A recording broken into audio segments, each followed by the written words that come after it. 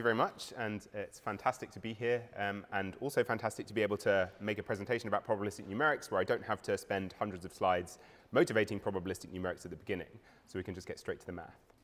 Um, so I'm going to talk about um, something that I don't think you could call state-of-the-art anymore, um, a Bayesian conjugate gradient method. Um, so I understand you've already seen some, uh, some work that's related to this, so hopefully this will provide a bit of an underpinning for things that you've already seen. But before we get to uh, Bayes CG, what I want to start with is talking about how we solve linear systems in general, because this gives some motivation for how we solve them with this uh, Bayesian conjugate gradient method.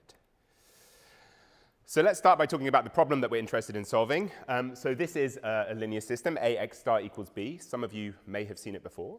Um, so the goal of this problem is to find x star, um, this unknown vector in this equation ax star equals b, where a is a given d by d matrix, which we assume throughout the talk to be invertible, because otherwise, what are we doing here? Um, and b is a d-dimensional vector which we're given um, and which we're allowed to interrogate at will. Um, so at some points in the talk, A will be assumed to be symmetric positive definite, um, but uh, that won't be on every slide, and I'll try to remember to point out which slides it is assumed on. So broadly speaking, there are two classes of solvers for linear systems. Um, the first class, and the one that people um, usually are most familiar with, although I understand you've seen some iterative methods in the spring school already, um, are called direct methods. Um, and the reason these are called direct methods is because they, in some sense, solve the linear system in one shot. So an example of a direct method which um, is particularly important in uh, Gaussian distributions and Gaussian processes is a Cholesky factorization. Um, and there's a broad class of direct methods that are similar to it in that they function by first computing a matrix decomposition, which somehow simplifies the task of solving the linear system. So in the case of a Cholesky factorization, we first compute uh, a factor L, which is lower triangular, and which is such that A is equal to L, L transpose. And because L is lower triangular, this simplifies the problem because we can reduce um, solving the entire linear system to just one pass of forward substitution and one pass of backward substitution, which is considerably easier to work with. Um, so the uh, animation on the right here gives you an idea of how uh, a Cholesky factorization accesses elements of the matrix A in order to compute the uh, factorization. Um, and uh, I should say that this requires A to be symmetric positive definite. I've already forgotten to mention one of the slides where that's assumed. Um, uh, and in terms of the cost of a Cholesky factorization, um, so uh, there are two deficiencies here which iterative methods aim to address. Um, so the first is the computational time. So if we look at the access pattern of this Cholesky factorization, we can see the yellow cell is the cell that the Cholesky factorization is working on, and the white cells are just cells of the matrix that are being read uh, while the yellow cell is being updated. So we can see that there's pretty clearly three nested for loops here, which gives an order d cubed computation, d being the dimension of the matrix.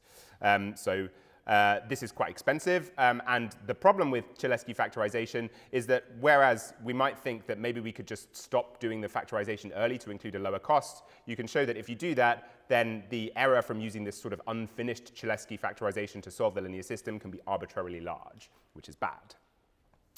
Second deficiency, um, so at least when naively implemented, um, Cholesky factorizations are order d squared in storage. So even if the matrix A is sparse and we don't need to store all of its elements because many of them are zero, um, when, again, when naively implemented, a Cholesky factorization um, will require you to score, store a dense factor. So you need to still score, store d squared elements to, to store the Cholesky factorization. So iterative methods aim to address this by instead of um, aiming to solve the system in one shot in some sense, they aim to, uh, to produce a sequence, uh, the sequence xm, which converges to the true solution x star as m goes to infinity, or hopefully uh, a number much smaller than infinity. Um, and uh, the sort of um, holistic aim is that if we can write down an iterative method such that a small error is achieved for a small value of n, then we can stop this early, accept a small amount of error, um, and uh, still have a method that's faster than applying a direct method. So um, one of the most famous iterative methods um, that's still widely used today, or modifications of it are still widely used today, is called the conjugate gradient method. Um, and forgive me if you've seen this in some of the, uh, some of the workshops already, um, but I'm just going to go over some of the properties of it that are relevant for this Bayesian conjugate gradient method now. So one of the nice ways, I think, of motivating the conjugate gradient method is by thinking of it as a kind of modified gradient descent, particularly if you're from a machine learning background. That's a nice interpretation. So if we think of this functional f of x, this quadratic functional, a half x transpose ax minus x transpose b, by taking its gradient, we can see that it has a unique minimum at the point x star, the true solution to this linear system. Um, and so uh, if we were thinking of trying to find that true solution by minimizing this quadratic functional, um, then a sensible way of doing that might be to use gradient descent. So as I said, conjugate, the conjugate gradient method arises from doing a kind of modified gradient descent on um, this functional. So in raw gradient descent, recall that in order to minimize uh, this functional using uh, sort of ordinary gradient descent, we would um, take steps at each iteration in the direction of negative gradient. So if we compute the gradient of this uh, functional, we see that this gives us steps in the directions sm tilde, uh, which are just b minus a xm minus 1, where xm minus 1 is the iterate at the previous iteration. And the CG search directions um, arise by augmenting these um, gradient descent search directions with an orthogonality constraint. So essentially, we impose that all of these search directions need to be orthogonal to each other in this inner product, uh, which is this inner product induced by A. Um, so it turns out that because we're using the residuals, these Rm minus 1s, um, which depend on our xm's, our iterates, um, to build our search directions, then rather than needing to orthogonalize against every previous, um, every previous search direction, we only need to orthogonalize against the last one, which is one of the sort of magical properties of CG, which makes it so efficient. Um, and uh, in this talk, usually when people work with CG, they work with orthogonal search directions, so these SM tildes directly. Um, in this talk, just to simplify notation, I'm going to make them orthonormal by dividing by um, the norm of these search directions, again in the A norm. So to give an idea of um, what makes CG, why CG is preferable to ordinary gradient descent, I've got an animation here which shows a projection of uh, CG operating on a 100-dimensional problem projected down to just two dimensions so we can visualize. So if we uh, run the animation, what you can see here is um, gradient descent sort of wobbles around quite slowly, taking a very, very long time to get to the true solution x star, whereas CG um, gets there very, very quickly, right? In fact, we can prove that CG reaches the true solution x star after d iterations in exact arithmetic. And the reason for gradient descent taking a very long time to get anywhere is that if you look at the path followed by gradient descent, you can see that it's very wiggly, right? So this reflects gradient descent going back on itself a lot. Um, and uh, whereas CG takes a much more uniform path to the solution, which is due to this orthogonalization of the search directions that prevents CG from going back on itself.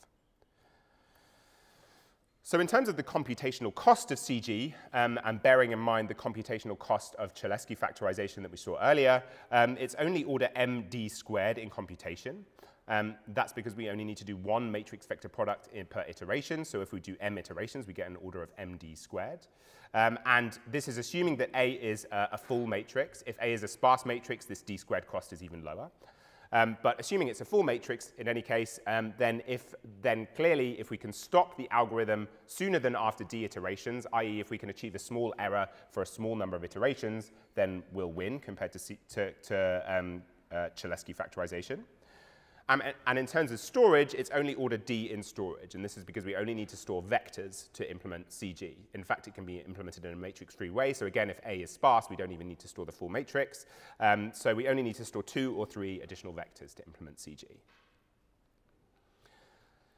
Okay, so um, there's a couple of pieces of uh, theory for CG which are quite helpful to go through again for the purposes of um, talking about the Bayesian conjugate gradient method that we're going to introduce later. And the theory of CG sort of all revolves around this idea of a Krylov subspace.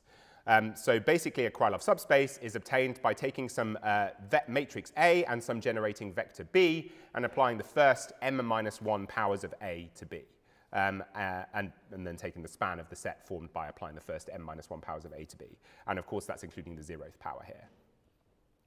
So the reason that Krylov subspaces are quite important for understanding the properties of CG is that the search directions we can prove form a basis of this Krylov subspace. So then we have a theorem which tells us something about um, sort of what, how uh, CG operates in terms of what space it explores. Um, so if we define this space Km star to be the shifted version of the Krylov subspace generated by the matrix A and the vector R0, and the shift is by some initial point x0, which is user specified, and that's the starting point for the algorithm, um, then we can show that the mth iterate from CG, xm, minimizes the error um, in this A norm within this uh, shifted Krylov subspace Km star. So we have this kind of optimality result within this Krylov space. And then a second theorem, which is basically about how fast CG converges, tells us something about the relative error of CG, again in this A norm rather than um, in the usual 2 norm that you would, you would think about. Um, so we can show that the relative error of the mth CG iterate uh, compared to the zeroth iterate uh, is bounded above by this thing on the right here, um, where uh, the important thing to, well, there's two important things that are controlling convergence here. The first one is this condition number of A, kappa of A. So because, uh, again, I've forgotten to mention that A is assumed to be positive definite on these slides. So because A is positive definite here, um, this condition number is the ratio of the largest and the smallest eigenvalues of A. Um, and we can see that if this condition number is close to 1, then convergence will be basically instantaneous, whereas if convergence, if the condition number is very large, then this ratio will be close to 1 and convergence will be much slower. And secondly, um, this is geometric in M. So this, uh, we've got this um, term which involves the condition number, and this is to the power of M. So um, even if this uh, is quite close to 1, convergence can still be quite fast. Okay, um, so that gives us some confidence that we can, uh, if we use CG, we might be able to write down an iterative method that can beat a direct method because the error is converging so fast. So if the condition number is small, we might be able to achieve small error in a small number of iterations. Okay, so that's all the background on solving linear systems that we need to go through, and now we can start talking about Bayes CG, so this Bayesian conjugate gradient method. So first, let's talk about, um, in general, how we implement probabilistic linear solvers. So again, I think you may have seen some of this before, but generally in probabilistic linear solvers, um, for the purposes of writing, being able to write down a convenient posterior, um, we usually start with a Gaussian prior, right? So we assume that our unknown solution to the linear system is Gaussian, uh, normally distributed with mean x0 and covariance sigma 0. And then we'll condition this prior on data that's provided by a set of search directions. So these search directions SM we can think of as being similar to the search directions from CG. So for now, we're not going to assume that they have anything to do with the search directions from CG. They're just an arbitrary set of search directions that are user specified. And then we'll see how we can build a nice set of search directions that is related to CG in a few slides. So if we think of this as our data and we let um, ym be the projection of the right-hand side b against the mth search direction, then if we let S um, be the matrix formed by putting all of these search directions into a big matrix by stacking them as the columns, then we can uh, write down this by now probably very familiar form for the posterior distribution of a Gaussian after observing m pieces of linear information about that Gaussian, assuming the search directions are linearly independent. So we can show that the conditional distribution of my unknown solution on these m pieces of information is also Gaussian. It has a mean xm and a covariance sigma m, which have these complicated expressions, which I'm sure you've seen hundreds of times already, so I'm not going to unpack them in too much detail. Um, but what I will say is that um, the, what's a bit disappointing about this posterior is that we have to invert this matrix lambda m in order to compute it, right? Um, so this is a usual thing that you have to do in Gaussian process regression. This is the gram this would be the analog there would be the Gramian matrix formed by taking evaluating the kernel at all the pairs of points. Here, this is the matrix SM transpose A sigma naught A transpose SM. So it's a bit disappointing that we've taken one matrix inversion problem and just replaced it with a different one. And in fact, when we submitted this paper, a reviewer described this as a potential nightmare scenario of just having to sort of stack probabilistic solvers for linear systems on top of each other. Um, and uh, I don't even want to think about what that would look like. But fortunately, um, we can uh, make a good choice of search directions which uh, simplifies this problem. Um, so if we look at the structure of this matrix, I mentioned the connection to uh, Gramian matrices before, and of course this is a Gramian matrix, right? It's the Gramian matrix formed by taking the inner product between all the pairs of search directions uh, in the inner product induced by this matrix A sigma naught A transpose, which appears just here. You can't, you can't see my cursor, can you? Sorry.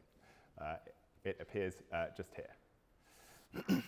so um, the point is that if we can construct the search directions such that they're orthonormal to each other or just generally orthogonal to each other, then um, this matrix lambda m will be diagonal or perhaps even an identity matrix. And even I, a statistician, can remember how to invert an identity matrix. So that simplifies the problem considerably.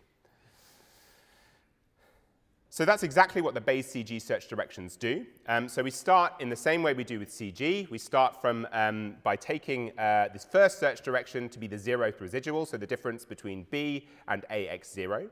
And then we set the mth search direction to be obtained by taking the m minus 1th residual and just orthogonalizing it against the previous search direction. Um, but notably, the orthogonal, the uh, inner product that we've got here, instead of being an inner product with respect to A, as it is in CG, now it's an inner product with respect to A sigma naught A transpose. So remember, that's the matrix that we wanted to enforce orthogonality with respect to back here. So uh, if we build the search directions in this way, then after normalizing them, i.e. after dividing them by uh, their norm in this A sigma naught A transpose norm, um, then it turns out that the search directions end up being A sigma naught A transpose orthonormal, and that simplifies computation considerably. In fact, we can compute the mean and the covariance um, in an iterative way using these formulae just here, which are basically the formula formulae from before, but, um, but applying this, uh, this result about the orthogonality of that matrix lambda n. So in terms of the cost, um, comparing this again to CG, um, the cost of applying Bayes CG is slightly higher. Um, so in terms of computation, uh, it's still MD squared as a computational order, um, but depending on how you implement it and how many matrices you're pre prepared to pre-compute and store, uh, you need two to three matrix vector products per iteration instead of just one. Um, so slightly higher cost there. Um, and in terms of storage, um, you can, uh, instead of computing the full covariance matrix at each iteration, you can just store um, these uh, factors, sigma naught A transpose SM, uh, sigma m minus 1 A transpose SM, um, and uh, only incur a storage cost of order MD. So again, this is higher than the cost from CG uh, by a factor of m because we don't need to store just vectors anymore. We now need to store some matrices. Um, but hopefully, um, as uh, you've seen over the course of the last couple of days, maybe that slight extra cost is worth it for the uncertainty quantification that this posterior provides in terms of the covariance can be thought of as providing you with, uh, for example, probabilistic um, error bounds or, or uh, credible sets um, for where your true solution might lie.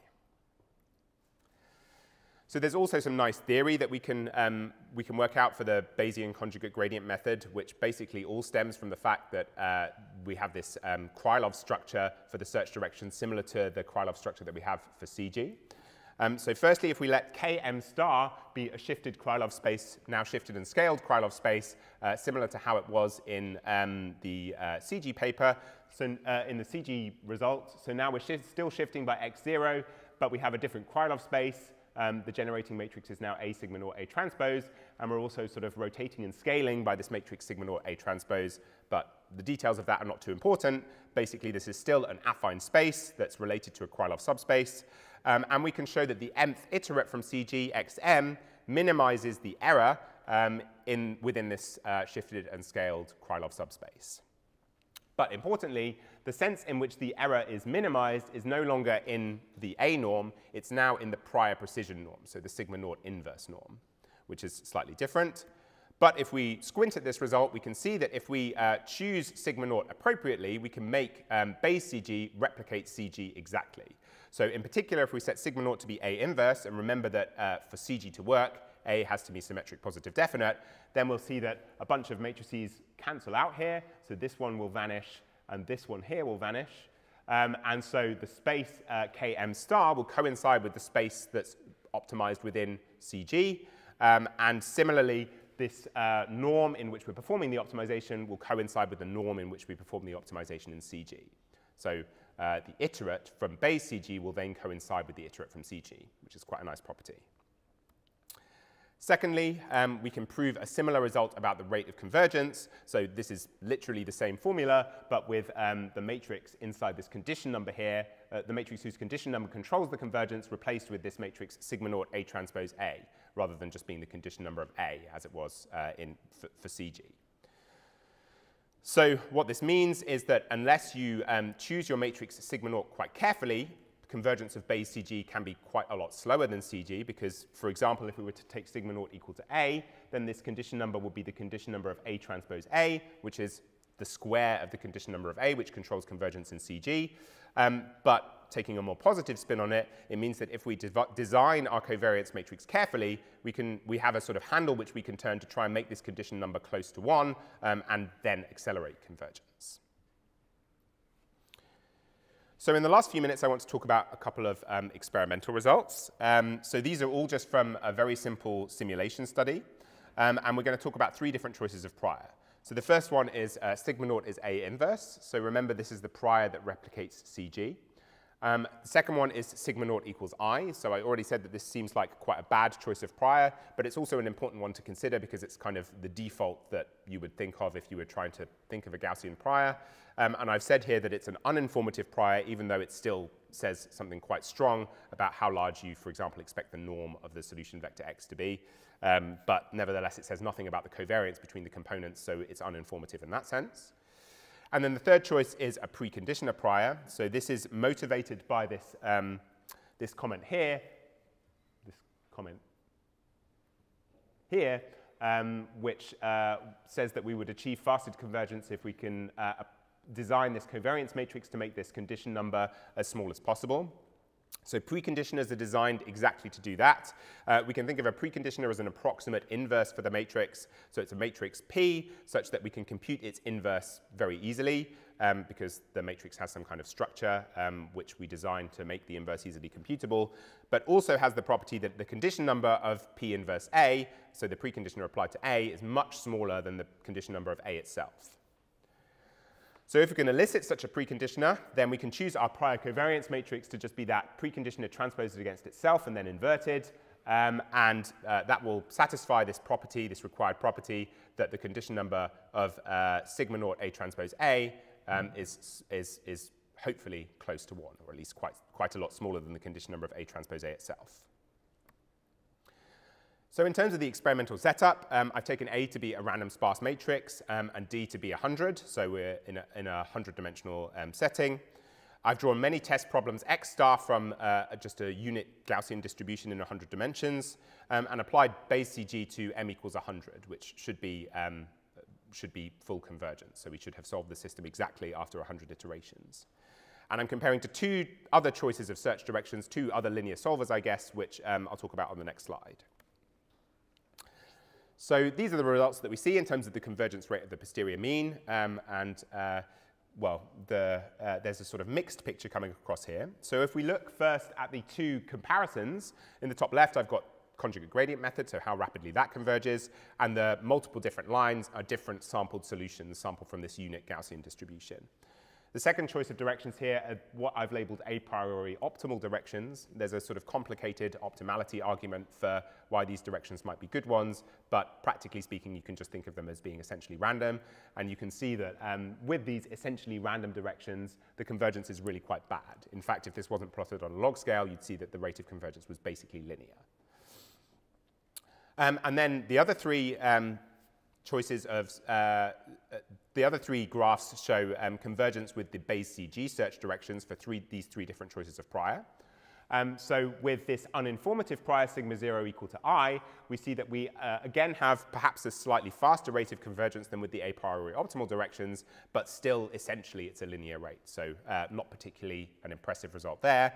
But as we encode successively more information about the matrix into the prior, so using either sigma naught as A inverse or this preconditioner prior, um, then we see that conver the convergence rate improves. So uh, we have a sort of qualitatively similar convergence rate when sigma naught is A inverse compared to CG, um, and uh, much, much faster rate of convergence when we use this preconditioner prior. Um, so you might interpret this as Bayes CG being way, way better than using uh, CG, but of course that's not giving the complete story because um, you, there's a preconditioned version of CG which could use the same preconditioning information and we could show that that converged much faster even than Bayes CG with the preconditioner prior. But of course, um, what we're most interested in here is the uncertainty quantification that these solvers provide. So in the next couple of slides, I'm just going to talk about that uncertainty quantification. Um, And uh, to talk about the uncertainty quantification, we should first identify what we'd like our solvers to look like in terms of uncertainty quantification. So um, at least in plain English, a way of uh, saying a sort of a useful property for a posterior distribution to have is we might say that it was well calibrated if x star typically looked like a draw from the posterior.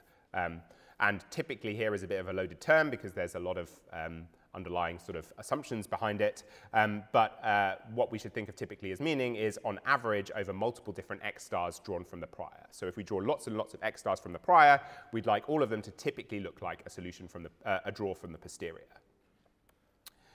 So under the assumption that that's what we would like our um, uncertainty quantification to satisfy, we can derive uh, a statistical test, um, or at least uh, sort of uh, a sampling distribution, um, which, um, which uh, a test statistic would follow um, to assess calibration.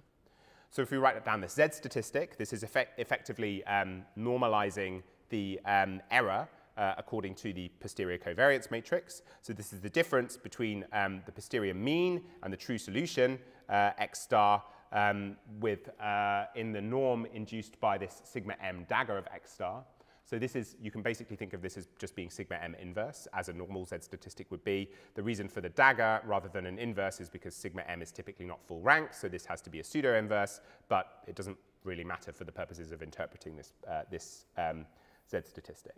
So this is just a, a sort of um, the error normalized by how large the posterior covariance thinks the error should be. So if the posterior distribution is well calibrated according to this intuition at the top of the slide, then we can prove that this z statistic, um, when applied to this random variable capital X, follows a chi-squared distribution with d minus m degrees of freedom when x is distributed according to the prior. Um, and I should note here that I'm really emphasizing the fact that both xm, the posterior mean, and sigma m, the posterior covariance, depend on the sol true solution x star um, because, uh, well, the data obviously depends on the true solution x star because the right-hand side does, um, and also the search directions might depend on the solution x star as well. So what we'd like to see on the left side is a bunch of lines that just follow this theoretical chi-squared distribution, um, and unfortunately that's not what we see.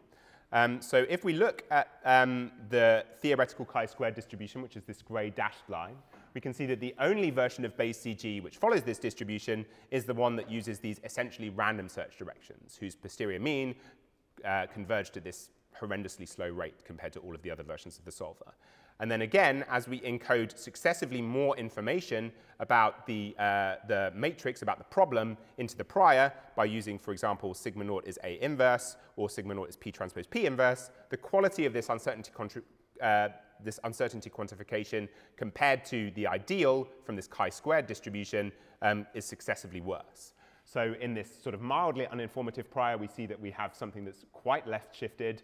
And then uh, for the two versions that encode a lot of information, um, we have to zoom in to actually see what's going on here. So this plot on the right is a zoom in of this chunk of the x-axis on the left. And we can see that these are really quite, um, quite catastrophically left shifted. So a left shift in these chi-squared distributions indicates very conservative uncertainty quantification. So practically speaking, that means that the posterior mean is much closer to the truth on average than the posterior covariance says it ought to be. So this is um, sort of saying that the posterior is, in, is effectively too wide. So what went wrong? Why um, do we not have uh, the kind of uncertainty quantification that we'd expect here? Well, the reason is that um, earlier I committed a crime against Bayes. Um, so uh, when we wrote down the search directions, remember that uh, essentially we cheated. We wrote down that the mth search direction was going to be the m minus 1th residual orthogonalized against the previous search direction. And if we think about what this m minus 1th residual is, it's b minus a times x m minus 1, which is just a x star minus xm. So the search directions know what the true solution is. They depend on the true solution. And so if we then think about what our YMs are, so remember this is our data that we conditioned upon uh, by using Bayes' theorem, um, and, we uh, and our YMs were just SM transposed against B. Um, and because SM depends on X star, um, this means that we've got something that's not linear in X star. It has uh, some sort of more complicated, like quadratic dependence on X star. So that's why we cheated when we used Bayes' theorem. We pretended that this information was linear so we could apply the usual Gaussian conditioning formula um, when in fact it wasn't linear, um, and that's what leads to this poor uncertainty quantification.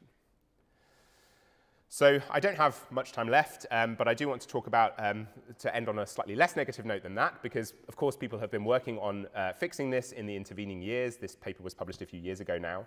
Um, so uh, the sort of main idea to mitigate this is uh, we already cheated when we did the conditioning, so why not uh, perform fur further crimes against Bayes and also build information about the problem into the prior. So if we do that, uh, that's called empirical Bayes, um, and we can essentially build a prior that uh, we can show has more favorable calibration properties by letting the prior know what the solution is going to be a priori, which you wouldn't usually be allowed to do, but again, as I said, we've already uh, broken the rules, so why not go with the whole hog? And then secondly, um, something you've already seen in the, in the workshop, uh, in the school, um, and in some of the, uh, some of the coding labs, um, is uh, there's a lot of exciting work on using BayesCG in applications. So for example, people have been working on using it to build um, cool Gaussian process uh, solvers, which um, encode the computational uncertainty from sort of having incompletely inverted the matrix within that uh, Gaussian process. That's everything I have to say uh, for now, so thank you very much, and I'd be happy to take any questions.